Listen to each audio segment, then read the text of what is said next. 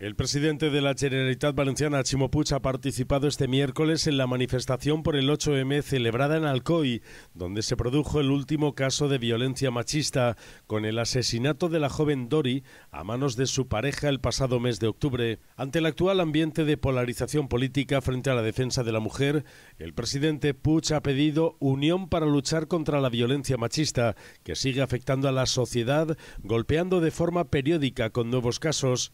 Puig ha reivindicado que no hay mayor problema en la sociedad que el terrorismo machista. El problema fonamental que té la societat espanyola, la societat valenciana, és la violència masclista i és el que hem d'erradicar junts, més enllà de les diferents mirades que sempre són positives i que sempre tenen que veure la diversitat, però no hi ha res més important que defensar la dignitat de les persones, siga quin siga el seu sexe. Chimo Puig ha asegurado que la violencia machista es el principal problema de la sociedad actual, tanto en la comunidad valenciana como en toda España.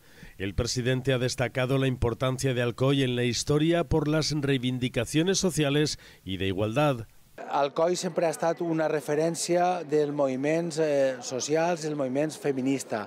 Gràcies al moviment feminista hem avançat molt en la societat valenciana, en la societat espanyola, molt, però encara no hem arribat allà on pertoca. I on pertoca és que hi una igualtat real entre homes i dones. I això no es produeix encara.